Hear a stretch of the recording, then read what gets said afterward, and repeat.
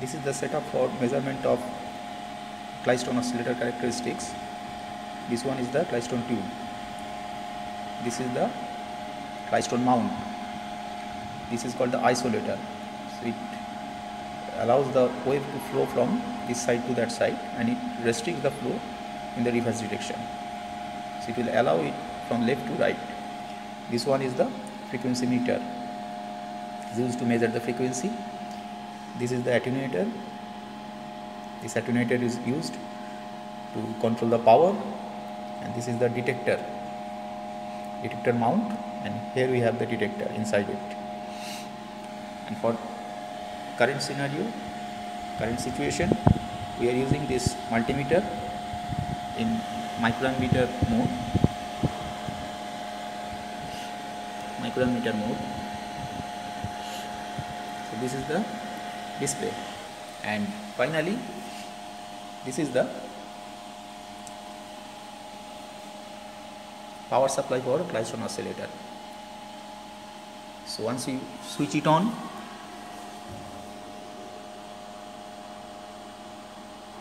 you have to switch on this thing. This is the switch. Next you have to switch on this HT then you have to adjust these things beam voltage and the repeller voltage. This is the repeller voltage. Repeller voltage adjustment knob. This is the beam voltage adjustment knob. So you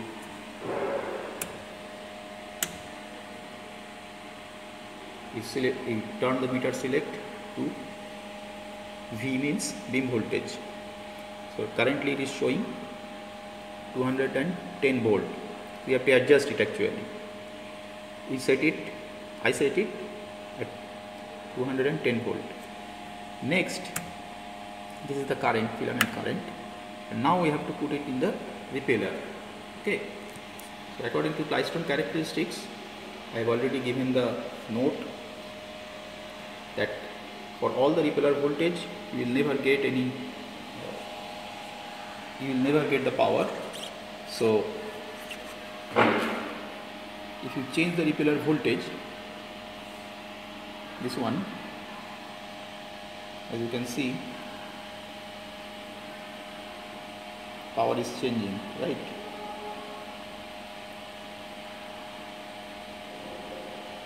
So within a certain voltage level you will get certain amount of power. Not only that if you reduce the voltage power is gone now at another voltage level you will get certain amount of power like this one.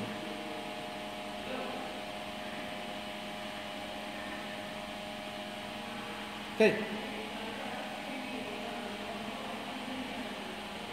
So here we have some certain amount of power again.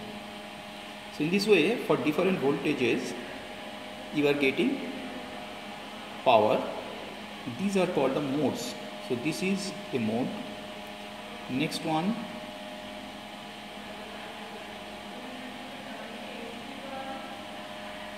Here we have another mode. Next we have another mode. So more the repeller voltage. Lower is the mode number. If this mode number is say 2 then the previous one would be 3 and the and so on. So what you have to do in this particular experiment you have to change the repeller voltage and you have to take the reading of power. Okay? So this is one part of the experiment. In the next part you have to measure the frequency. So let us bring the Klystron to the maximum value.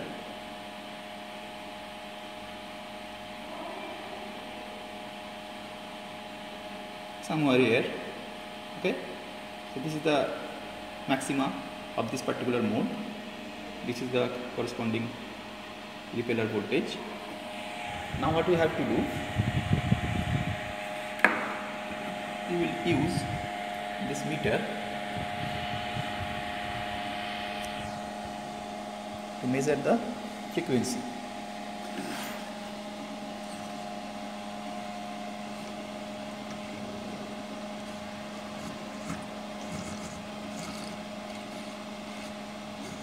So you can see that power remains constant almost but at certain position of this meter you will see sudden drop in power.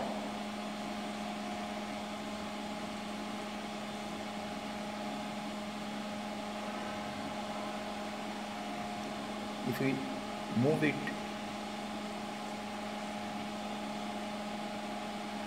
at a fast rate then we can miss it. See the power is diminishing right?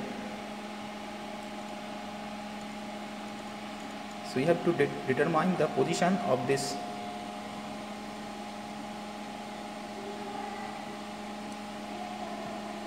meter so that you will get minimum amount of power.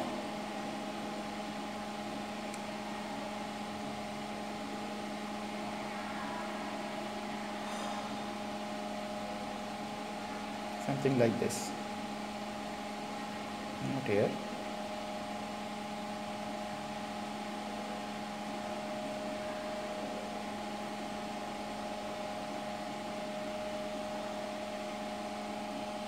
right then you take the reading. This is the reading. So within these two uh, copper wires are there and this is the line and the reading will be in between them. Okay? So right now it is slightly less than 9.22 okay? Here we have 9.2 gigahertz. This is 9.22 so you can estimate what should be the value of this particular point. So this one hold on.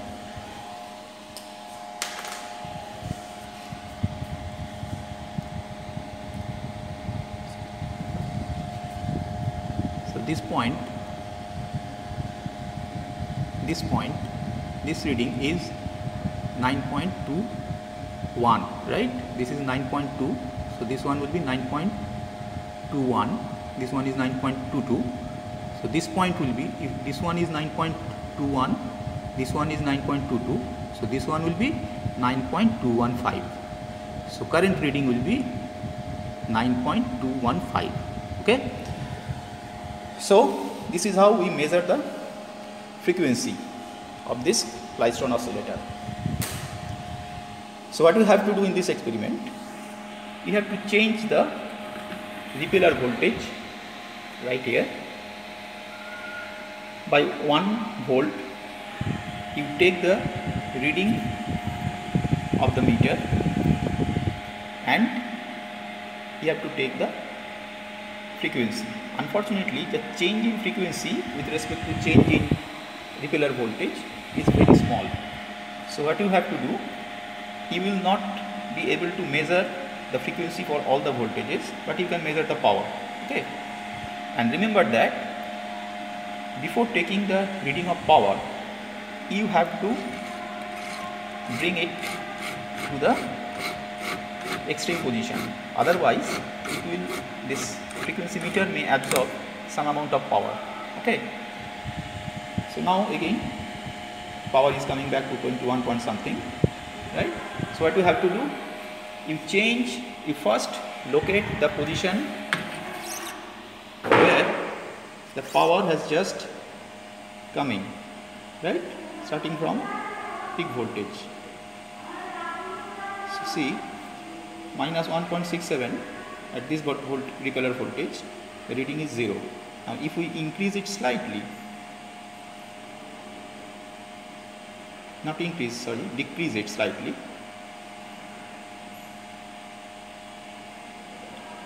actually this 0.9 is almost 0 so 66 means say so this is the reading.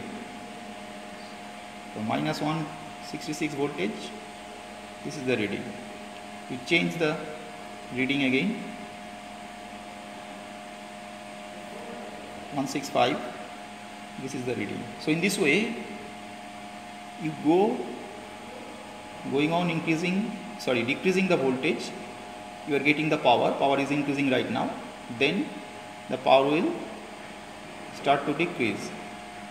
Okay?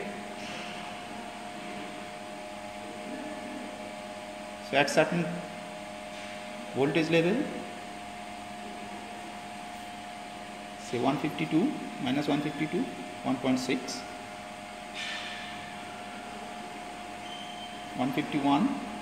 151.1 right? So if we decrease it further 150 0 so this is the reading for this mode power reading for this mode okay? Now to take the reading of the frequency what we have to do you go back to the peak position say 161 this is the peak position. And then you measure the corresponding frequency using frequency meter that I have already shown earlier right? This is how we can measure it okay? Then you change the repeller voltage by 2 volt say this one and you measure the frequency again using frequency meter okay? So in this way you take 3 to 4 number of readings. Similarly the other side of the peak we are going down. So come back to the peak value. We have to come back to the peak value again. Somewhere here. Right. Then you have to increase this by 2 volt 163 so this is the reading of the power. And you measure the frequency again here. Right? So from the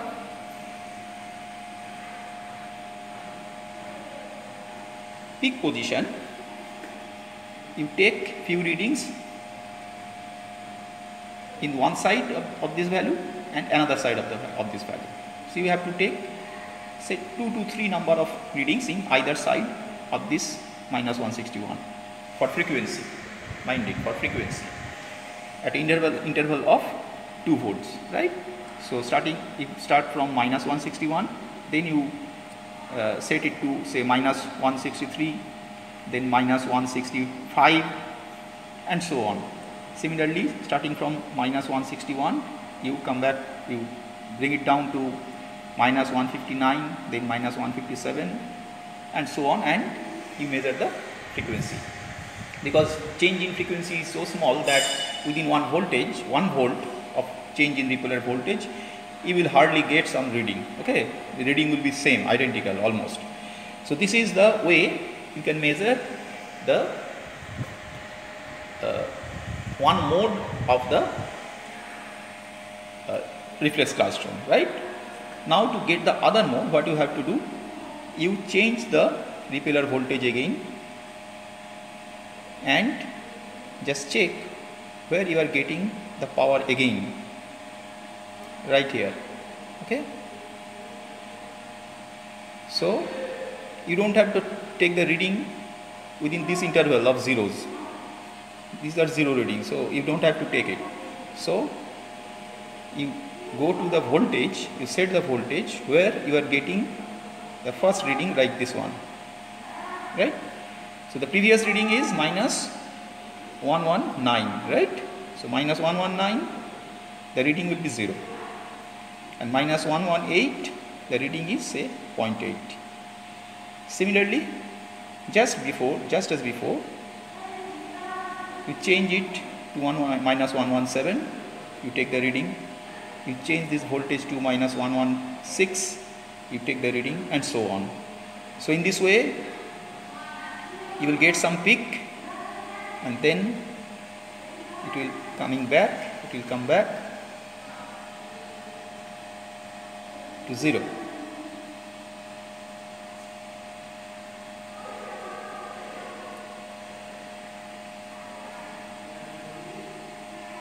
still you are getting some power it is almost 0 you can say it as 0 so 103 minus 103 you are getting some power. And if you reduce it further it will be 0 like this. It is 0 now. Okay? So this is another mode. Similarly just as before you have to take the reading of this frequency meter. The frequency meter reading will be maybe 5 or 6 per mode okay? You will not be able to get all the readings. And not only that uh, you take the reading of frequency for just two modes that is sufficient okay? You don't have to take the reading for every mode you just take the reading for two modes okay? Now you go to the next mode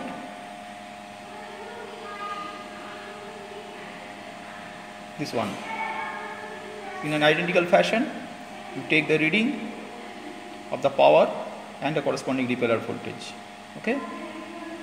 And don't remember don't forget to write the beam voltage okay? Beam voltage will change slightly maybe 1 volt or 2 volt but you have to take that reading. You have to write in the top of the uh, table okay so this is how we perform this experiment